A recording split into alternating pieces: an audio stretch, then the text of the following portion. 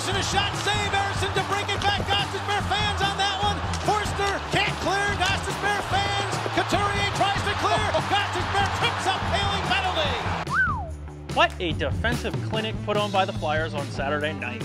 Samuel Ersson was perfect, and now that's an eight-game point streak for your red-hot Philadelphia Flyers. Since that ugly loss to the Sharks on November 7th, the Flyers have gone on a tear, going 12, 3, and 2 in that stretch.